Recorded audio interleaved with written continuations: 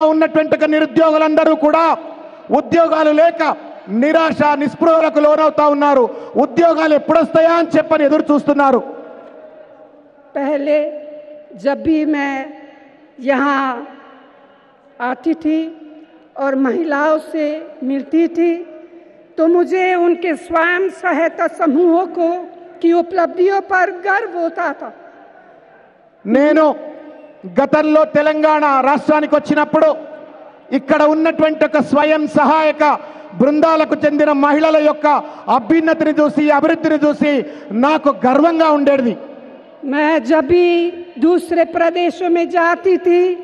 तो हमेशा यहाँ की यहाँ की मिसाल देती थी लेकिन बहुत ही चिंता की बात है कि आज इन समूहों जो हमारी प्यारी बहनों की जिंदगी में परिवर्तन परिवर्तन लाने का एक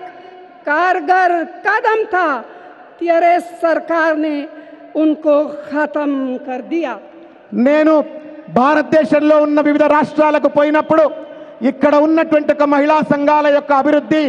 మహిళల యొక్క అభివృద్ధి గురించి నేను గర్వంగా అన్ని ప్రాంతాలలో ఒక గొప్ప విజయంగా నేను అన్నిటి కూడా చెప్పేవాడిని కానీ టిఆర్ఎస్ పరిపాలనలో మహిళా సంఘాలన్నింటినీ కూడా అణగదొక్కి వాళ్ళ యొక్క అభివృద్ధిని నాశనం చేసినట్టు పరిస్థితిని చూస్తే నాకు బాధ కలుగుతూ ఉంది.